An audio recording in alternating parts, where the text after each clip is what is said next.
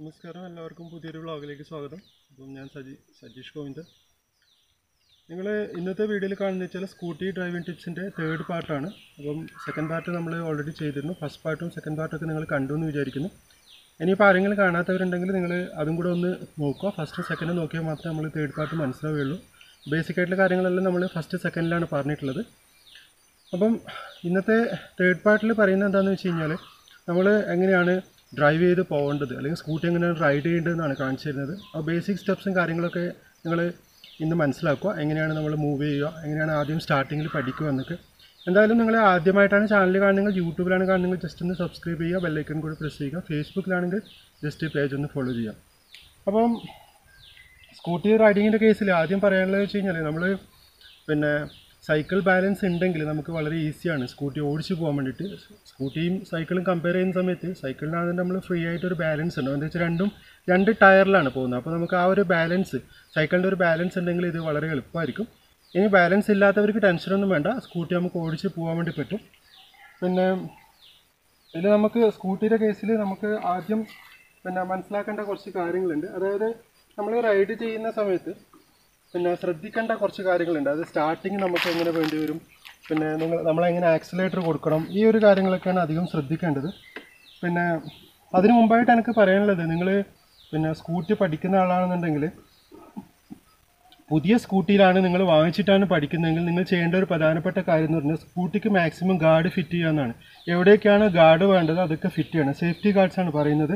എന്തിനാണ് അങ്ങനെ guards fit ചെയ്യുന്നതെന്ന് പറഞ്ഞു കഴിഞ്ഞാൽ ഇൻ കേസ് നിങ്ങൾ പഠിക്കുന്ന സമയത്ത് വണ്ടി മറിയോ ചെരിയോ ചെറുതായിട്ട് തട്ടുകയൊക്കെ ചെയ്ത് കഴിഞ്ഞാൽ വണ്ടിക്ക് നല്ലോണം ചതവ് ഒടിവൊക്കെ സംഭവിക്കാൻ ചാൻസ് ഉണ്ട്. അപ്പോൾ അതൊന്ന് ഒഴിവാക്കാൻ ഈവൻ നിങ്ങൾക്ക് പോലും ചിലപ്പോൾ എന്തെങ്കിലും പരിക്കൊക്കെ സംഭവിക്കാൻ ചാൻസ് ഉണ്ട്. അപ്പോൾ അത് ഒഴിവാക്കാൻ വേണ്ടി നമുക്ക് എവിടെയൊക്കെയാണ് ഗാർഡ്സ് ഫിറ്റ് ചെയ്യാൻ പറ്റുന്നത് സ്കൂട്ടിക്ക് അതൊക്കെ നിങ്ങൾ ഫിറ്റ് ചെയ്യുക. ഇതിനിപ്പം അധികം ഗാർഡ്സ് ഒന്നും എവിടെയും ഫിറ്റ് ചെയ്തിട്ടില്ല. ഇതങ്ങനെ പഠിക്കുന്ന വണ്ടിയല്ല. അപ്പം സാധാരണ നിങ്ങൾ പിന്നെ പഠിക്കുന്നതാണെന്നുണ്ടെങ്കിൽ നിങ്ങൾ വാങ്ങിച്ചിട്ട് പുതിയ സ്കൂട്ടി വാങ്ങിച്ചിട്ടാണ് പഠിക്കുന്നതെങ്കിൽ തീർച്ചയായിട്ടും നിങ്ങൾ ഗാർഡ് സൈഡിലൊക്കെ ഫിറ്റ് ചെയ്യണം. എല്ലാ ഭാഗത്തും ഗാർഡ് ഫിറ്റ് ചെയ്യണം. അത് നിങ്ങൾക്ക് എത്രത്തോളം കൂടുതൽ ഫിറ്റ് ചെയ്യാൻ കഴിയുന്നു അത്രത്തോളം നല്ലതാണ്. ആവശ്യത്തിന് അനുസരിച്ച് ഫിറ്റ് ചെയ്യുക. അപ്പം വണ്ടി മറിഞ്ഞു കഴിഞ്ഞാൽ പോലും ആ ഒരു ഗാർഡിന്റെ പ്രൊട്ടക്ഷനിൽ പിന്നെ വണ്ടിക്കൊന്നും സംഭവിക്കില്ല. ഈവൻ നിങ്ങൾക്കൊന്നും സംഭവിക്കില്ല. അത് നിങ്ങളൊന്ന് മനസ്സിലാക്കി വെക്കുക.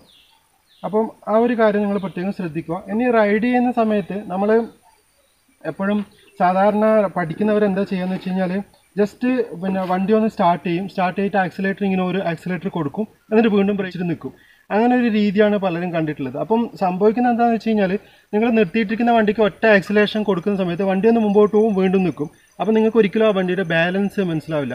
അപ്പോൾ അതിന് പകരം അങ്ങനെ ഒരു ആക്സിലേറ്റർ കൊടുത്ത് നിൽക്കുന്നതിന് പകരം നിങ്ങൾ എന്താ ചെയ്യേണ്ടത് വെച്ച് കഴിഞ്ഞാൽ കുറച്ച് ദൂരം ഒന്ന് പോവുക. വണ്ടിയും കൊണ്ട് കുറച്ച് ദൂരം പോവുക. അത് ഞാനിപ്പോൾ നിങ്ങൾക്ക് കാണിച്ചു തരാം. ദൂരം പോകുക എന്ന് പറഞ്ഞാൽ എങ്ങനെയാണെന്ന് കാണിച്ചു തരാം. കുറച്ച് ദൂരം പോയി കഴിഞ്ഞാൽ മാത്രമേ നമുക്ക് ആ വണ്ടിയുടെ ബാലൻസ് കിട്ടൂ. അല്ലാതെ നിങ്ങൾ ഒരു ആക്സിലേറ്റർ കൊടുത്തു ബ്രേക്കിംഗ് ക്ലച്ചും പിടിച്ച് അവിടെ നിർത്തി. അങ്ങനെ സാധാരണ പഠിക്കുന്നവർ ചെയ്യുന്ന ഒന്ന് കൊടുക്കുന്നു പിന്നെ വീണ്ടും ഓഫ് ചെയ്യുന്നു. അങ്ങനെയല്ല ഒരു പോയിന്റ് ആക്സിലേറ്റർ ത്രൂ ഔട്ട് കൊടുക്കാൻ നിങ്ങൾക്ക് പറ്റണം.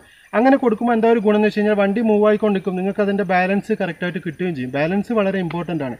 പിന്നെ ഇതിനെ സംബന്ധിച്ചിടത്തോളം ബൈക്ക് ബൈക്കും നമ്മുടെ സ്കൂട്ടിയൊക്കെ ഒക്കെ പിന്നെ കമ്പയർ ചെയ്യുന്ന സമയത്ത് നമുക്ക് സ്കൂട്ടിയിൽ ഒരു വലിയൊരു ഗുണം എന്താണെന്ന് വെച്ച് കഴിഞ്ഞാൽ എല്ലാവരും കാൽ കറക്റ്റായിട്ട് നിലത്ത് കുത്താൻ പറ്റും. ഇപ്പോൾ ബൈക്കിൽ നമുക്ക് അതേപോലെ കുത്താൻ പറ്റുന്നുണ്ട്. പക്ഷേ സ്കൂട്ടിയുടെ കേസിൽ പറയുകയാണെങ്കിൽ നമുക്ക് വളരെ ഫ്രീ ആയിട്ട് പിന്നെ കാൽ നിലത്ത് ഇങ്ങനെ രണ്ട് കാലും അപ്പുറം ഇപ്പുറം കുത്തി നിൽക്കാൻ വേണ്ടി പറ്റും. ബാലൻസ് ചെയ്ത് നിൽക്കാൻ വേണ്ടി പറ്റും. അത് വലിയൊരു അഡ്വാന്റേജ് ആണ് നമുക്ക് ഇത് പഠിക്കുന്ന സമയത്ത്. പിന്നെ എന്താ വെച്ച് കഴിഞ്ഞാൽ ബാലൻസ് കിട്ടുന്ന അത്ര സമയം വരെ നമുക്ക് ആ കാൽ ഉപയോഗിച്ചുകൊണ്ട് വണ്ടിയെ സപ്പോർട്ട് ചെയ്യാൻ വേണ്ടി കഴിയും. അപ്പോൾ നമ്മളിപ്പോൾ സ്റ്റാർട്ട് ചെയ്യുന്ന സമയത്ത് എല്ലാവരും രണ്ട് കാലം എപ്പോഴും ഇങ്ങനെ വെച്ചിട്ട് തന്നെ പ്രാക്ടീസ് ചെയ്യുക. അങ്ങനെ വെച്ചിട്ട് തന്നെ ആയിരിക്കും നിങ്ങൾ പ്രാക്ടീസ് ചെയ്തിട്ടുണ്ടാവുക. പിന്നെ സ്റ്റാർട്ട് ചെയ്യുന്ന സമയത്ത് ഏതായാലും ഇതേപോലെ വെക്കും. അതിന് ശേഷം നമ്മൾ ഡ്രൈവ് ചെയ്യുമ്പം എന്താ ശ്രദ്ധിക്കേണ്ടതെന്ന് വെച്ച് കഴിഞ്ഞാൽ നിങ്ങൾ പിന്നെ പിന്നെ എപ്പോഴും ഈ സ്റ്റാൻഡ് മേലോട്ട് പിന്നെ ആക്കാൻ എപ്പോഴും ഓർമ്മിക്കുക. സ്റ്റാൻഡ് തട്ടാതെ വണ്ടി ഓടിക്കരുത്. പലർക്കും ഈ എന്താ പറയുക ആദ്യത്തെ ഒരു ടെൻഷനൊക്കെ ഉണ്ടാവും വണ്ടി ഓടിക്കുന്നത്. അപ്പോൾ ആ ഒരു സമയത്ത് ഈ സ്റ്റാൻഡിന്റെ കാര്യങ്ങളൊക്കെ പലരും മറക്കുന്നു കണ്ടിട്ടുണ്ട് അപ്പോൾ അതൊന്ന് ഒഴിവാക്കുക. സ്റ്റാൻഡ് ഒഴിവാക്കിക്കൊണ്ട് തന്നെ വണ്ടി സ്റ്റാർട്ട് ചെയ്യാൻ വേണ്ടിയിട്ട് ശ്രദ്ധിക്കുക. ഫ്രണ്ട് പിന്നെ ഇത് ആക്സിലേറ്ററും കൂടിയാണ്. ഹാൻഡിലും കൂടിയാണ് ആക്സിലേറ്ററും കൂടിയാണെന്ന് ഞാൻ മുമ്പ് പറഞ്ഞിട്ടുണ്ട്.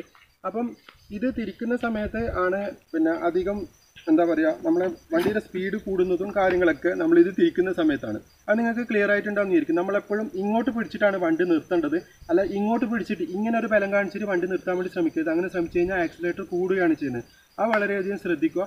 പിന്നെ നമ്മൾ ബൈക്കും സ്കൂട്ടിയും എടുക്കുന്ന ആളുകൾക്ക് ഒരു കൺഫ്യൂഷൻ വരുന്നത് വെച്ച് കഴിഞ്ഞാൽ ബൈക്കൊക്കെ നമ്മൾ രാവിലെ ന്യൂട്രലിൽ ഇട്ടിട്ട് ഒന്ന് പോകുന്നതിന് മുമ്പ് ഒന്ന് റേസ് ചെയ്യും ഇങ്ങനെ. രണ്ട് മൂന്ന് പ്രാവശ്യമൊക്കെ റേസ് ചെയ്ത് നോക്കിയിട്ടുണ്ടാവും. അങ്ങനെ സ്കൂട്ടി ചെയ്യരുത്. സ്കൂട്ടി റേസ് ചെയ്ത് കഴിഞ്ഞാൽ നമുക്ക് ന്യൂട്രലാക്കാനുള്ള പൊസിഷൻ ഒന്നുമില്ല അപ്പോൾ റേസ് ചെയ്ത് കഴിഞ്ഞാൽ വണ്ടി മുമ്പോട്ട് പോകും. അത് അങ്ങനെ ഒരു അബദ്ധം പലർക്കും പറ്റാറുണ്ട്. സ്കൂട്ടിയും ബൈക്കും ഡെയിലി എടുക്കുന്നവർക്ക് ചിലപ്പോൾ പെട്ടെന്ന് അങ്ങനെ ഒരു കൺഫ്യൂഷൻ ഉണ്ടാവും. രാവിലെ ഒന്ന് ആക്സിലേറ്റർ ഇങ്ങനെ ഒന്ന് കൊടുത്തൊന്ന് ഇതാക്കാൻ നോക്കുന്ന സമയത്ത് നമ്മൾ അതൊന്ന് ശ്രദ്ധിക്കണം. പിന്നെ എന്താ പറയേണ്ടത്? വണ്ടി മൂവ് ആവാത്ത പോലെ ശ്രദ്ധിക്കണം. അല്ലെങ്കിൽ പിന്നെ സ്റ്റാൻഡിൽ ഇട്ടിട്ടുണ്ടാണ് മെയിൻ സ്റ്റാൻഡിൽ ഇട്ട് കഴിഞ്ഞാൽ പിന്നെ വേണമെന്നുണ്ടെങ്കിൽ ആക്സിലേറ്റർ കൊടുക്കാം. അല്ലാതെ നമ്മൾ മെയിൻ സ്റ്റാൻഡിൽ ഇല്ലാത്ത സമയത്ത് ആക്സിലേറ്റർ കൊടുക്കുമ്പോൾ വളരെയധികം ശ്രദ്ധിക്കണം.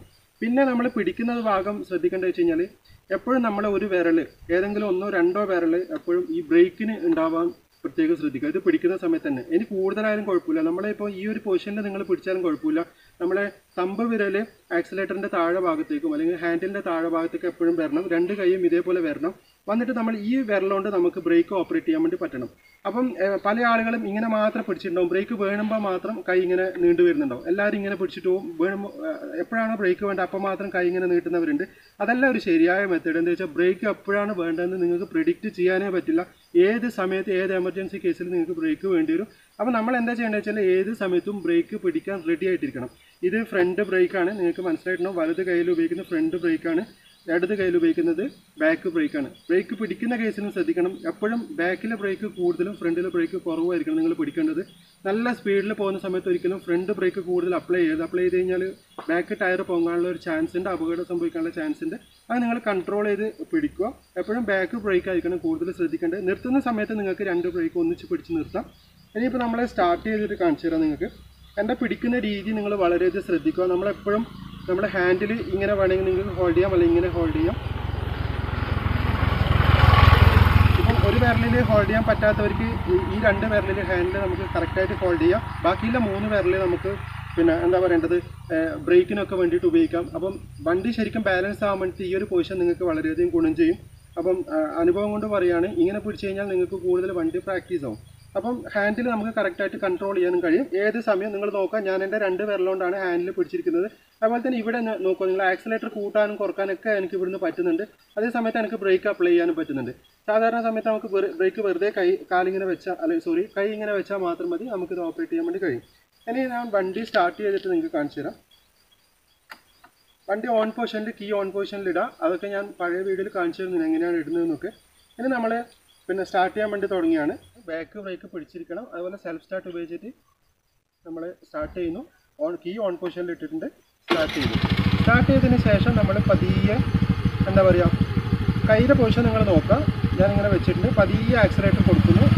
ആക്സിലേറ്റർ കൊടുക്കുന്നതോടെ വണ്ടി മൂവ് ആവും. കണ്ടില്ലേ? ഇങ്ങനെ വണ്ടി മൂവ് ആവും.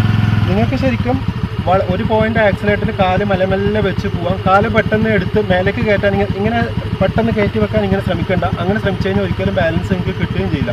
നിങ്ങൾ ചെയ്യേണ്ടത് വെച്ചാൽ ആദ്യം നമ്മൾ കാൽ ലൈറ്റായിട്ട് ഒന്ന് ഉയർത്തി പിടിച്ച് കൊടുത്താൽ മാത്രം മതി. വണ്ടി പോകുന്നതിനനുസരിച്ച് ഉയർത്തി പിടിച്ച് കൊടുത്ത് നോക്കുക. അത് നിങ്ങളിപ്പോൾ നോക്കുക എങ്ങനെയാണെന്ന്.